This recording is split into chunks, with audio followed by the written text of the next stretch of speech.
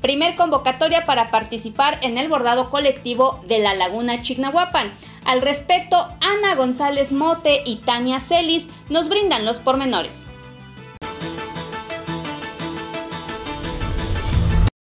Bueno, pues para empezar me gustaría decir que es un proyecto pues que organizamos como de manera voluntaria, digamos, eh, y es con la finalidad de pues empezar a crear estrategias donde logremos crear narrativas desde lo comunitario. Y bueno las cartografías son como una herramienta eh, que nos permite hacer esto no y pues usamos la técnica del bordado. Entonces para ello pues eh, requieren solamente como pues aguja que traigan su aguja que traigan algunos hilos o algún hilo si desean donarlo porque creo que esto se, se va a nutrir como con la participación en mano de las personas, pero también con algunos materiales que son necesarios, como hilos. Entonces, si quieren traerlos también, eh, aros, si gustan traer su aro, y ya pues se lo llevan, pero la idea es este esa, bueno, la cartografía ya lleva alrededor de dos meses aproximadamente. La fecha sí no te la puedo decir muy bien, no la recuerdo.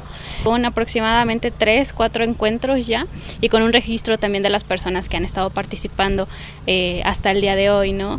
Un aproximado de entre 20 y 30 personas ya este, han tenido la oportunidad y ha estado pues interesante también este proceso porque además de hacer el acto de, recordar, ¿no? De, volver al pasado, de decir yo cuando era niña, yo hace tres semanas, yo hace tres meses estuve y esto es lo que me llevó de la laguna, ¿no? Que han estado aquí en, el, en la cartografía y bueno para compartir un poquito no de las experiencias personas no solamente de este tan tan jóvenes como de prepa secundaria que han estado participando en la cartografía nos platicaban que no conocían por ejemplo eh, el, el vivero no entonces, al momento de que hicimos una, este, una colaboración con más personas, porque esto también este, sí es voluntario y pues somos más personas involucradas ¿no? en, eh, en este rescate del, del recuerdo de, de la laguna y también de darle pues la importancia de vida, ¿no? Eh, o bueno, la que nosotros podríamos darle a este cuerpo de agua.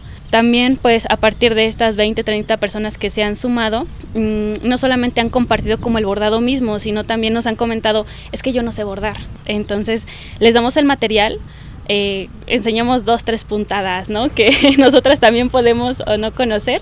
Y las personas de la, eh, que están alrededor nuestro también empiezan a, compartir su saber, no solamente de la práctica, sino también de la plática, de formar esa pues comunidad que es también el sentido de esta cartografía hacerlo desde la memoria y también haciendo un presente, ¿no? Y ser parte de, esto me parece muy, en lo personal me parece muy, muy bonito. Sí, eh, de hecho tenemos ya eh, fechas pues confirmadas, este 31 pues vamos a estar en la biblioteca este, Miguel Cástulo de Alatriste eh, en Ixlahuaca, ¿no? con apoyo también de los colectivos y de las personas que se han estado sumando a esto, pues estamos haciendo la difusión.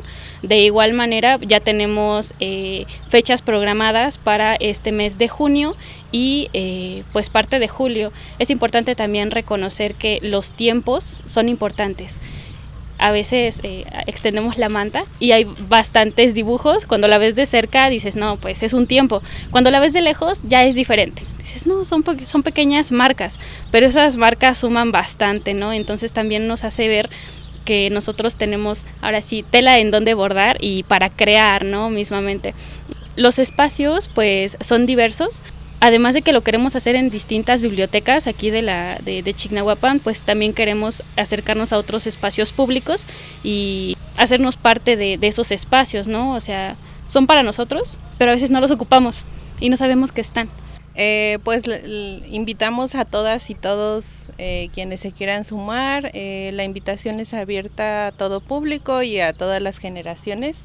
La idea, como dice Tania, también es compartir saberes y desde ahí tal vez una no pueda saber alguna puntada, pero la idea justo es compartir también ese saber y pues que no es exclusivo de mujeres, ¿no? Porque quienes se han acercado, la mayoría a abordar, pues han sido mujeres, pero en realidad eh, pues el acto de, de bordar pues es para todos, para todas y además de compartir, pues es algo que detona la conversación, pero también un proceso que finalmente va a conjuntar diferentes experiencias en torno a un solo espacio que es la laguna. Y bueno, estaremos, este, si nos pueden seguir en una página de Instagram que es eh, Bordando Memorias del Agua.